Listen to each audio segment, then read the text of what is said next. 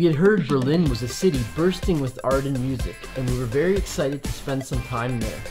Here is our list of the 25 best things to do in Berlin. The East Side Gallery is the longest remaining strip of the former dividing wall between East and West Berlin. Today, the 1.3 kilometer long wall stands as a memorial to freedom and it is covered in art and graffiti.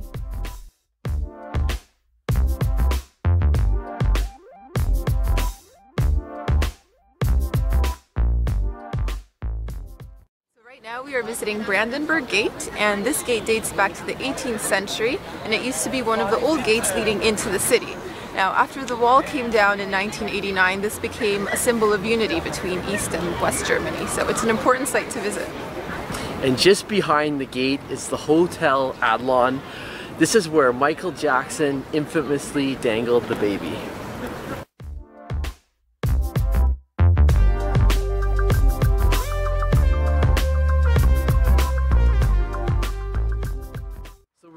Here at Tiergarten, one of the biggest parks in the city, and it's a nice, quiet, green escape from the city center. We're loving just walking around.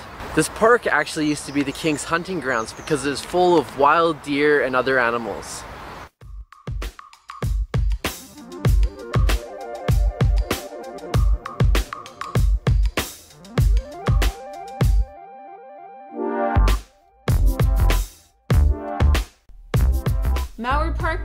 Hipster hangout. Every Sunday, people flock to this park and spend the day barbecuing, listening to music, enjoying a few beers, and simply having a good time. There's a popular flea market where you can pick up old vinyls and clothes, and if you head over to the Bear Pit, you can catch some karaoke and musical performances.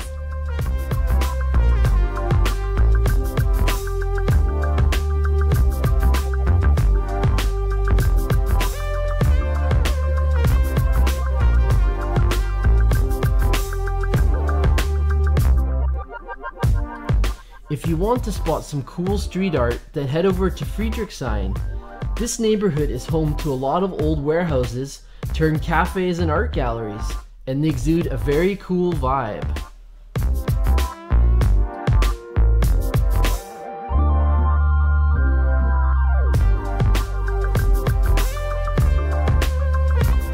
You can't come to Berlin and not eat a currywurst. This is the city's most popular fast food snack.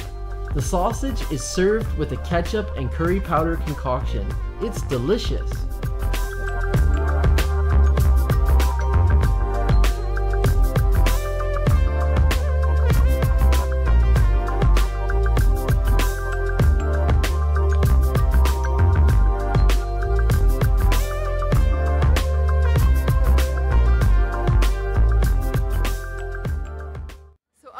We're at the Reichstag building, which has a pretty cool glass dome on top.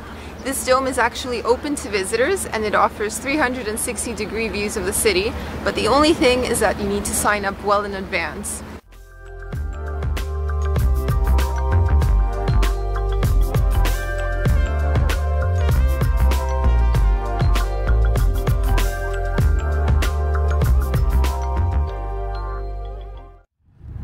We're visiting Tempelhof, a repurposed airport here in Berlin.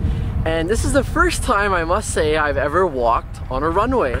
What's so cool about this park is that it has been repurposed and now people are enjoying all kinds of leisure and recreation activities. There's a dog park, there's people inline skating, riding bicycles, jogging, walking, having picnics. This is such an awesome place just to come and hang out.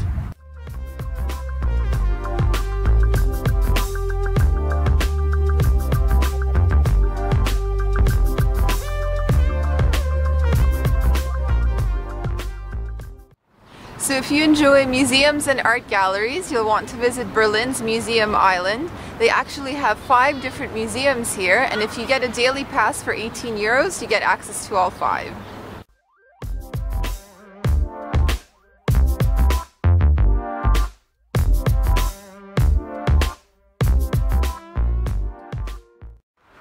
We are now visiting the Holocaust Memorial in Berlin. It's also known as the Memorial to the Murdered Jews of Europe.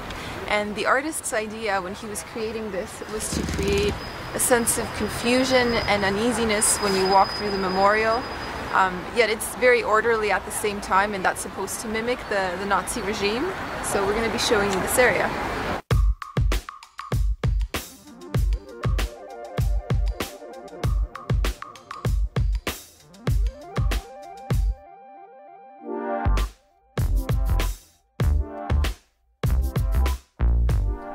Charlottenburg Palace is the largest palace in Berlin and the only surviving royal residence in the city.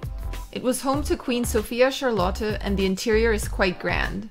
Once you've browsed through the many halls and ballrooms, you should head out to the beautiful gardens in the back.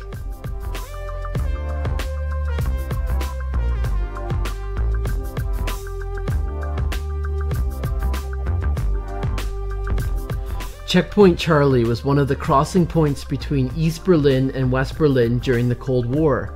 Today you can get your passport stamp with the stamps of the former sectors.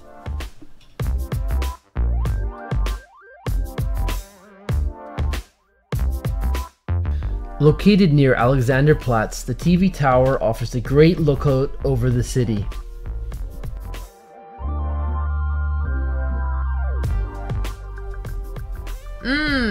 Chocolate. Ritter Sport is a chocolate brand that is sold all over Germany, and while in Berlin, we couldn't resist sampling a few of the different varieties.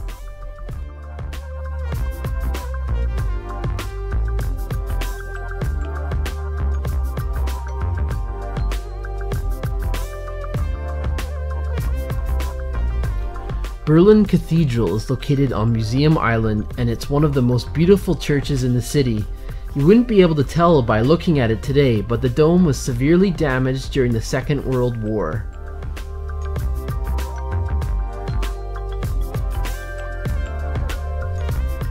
If currywurst is to your liking, you'll want to check out this quirky museum devoted to Berlin's favorite sausage. One of the coolest things about this museum is that they have a giant sofa shaped like a currywurst.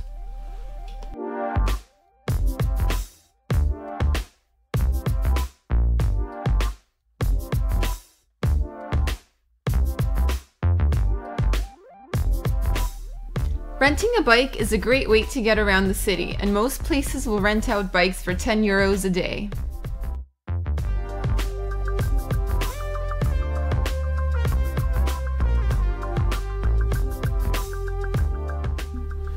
For a leisurely afternoon, hop on a boat and enjoy a tour down the River Spree.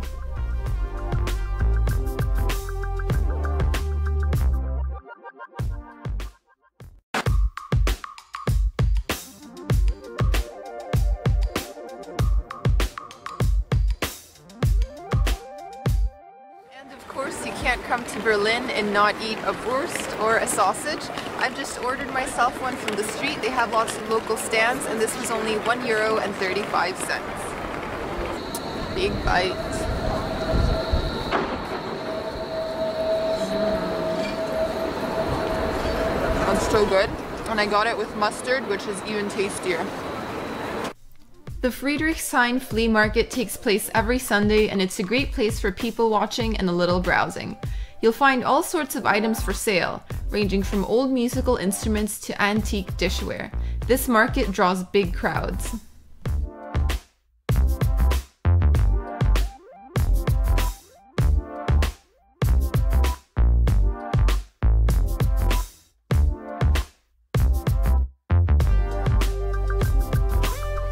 The Germans sure know how to enjoy a hearty breakfast, and we recommend you try it too. Breakfast usually offers a wide sampling of loaves and bread rolls accompanied with various deli cuts and cheese.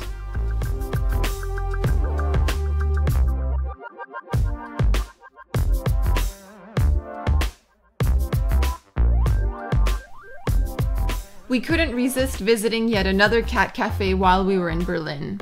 Unlike the cafes we had previously visited in Asia, this one was quite small and only had two cats, but if you're a cat lover, you might just enjoy Pee Pee's Katzen Cafe.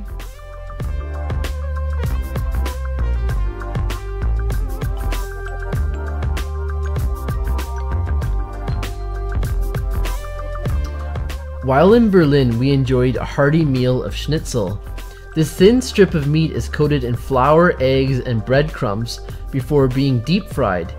You can order it with a side of mashed potatoes or German noodles known as Spätzle.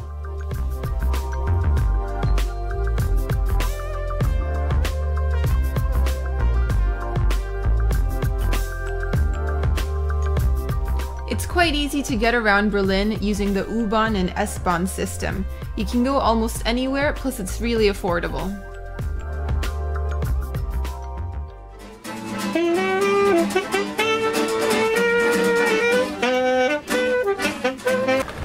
In Berlin, there's a big Turkish population, and that means there's awesome Turkish street food. Right here, I've got a doner in front of me, and it only costs 350 euro, and this thing is a massive behemoth. I can't wait to take the first bite. Oh yeah, amazing.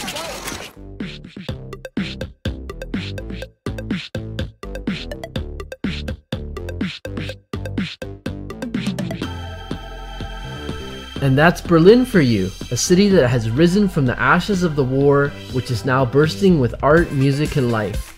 Have you been to Berlin? We'd love to hear your favorite things about the city in the comments below. For more travel and food videos, hit subscribe!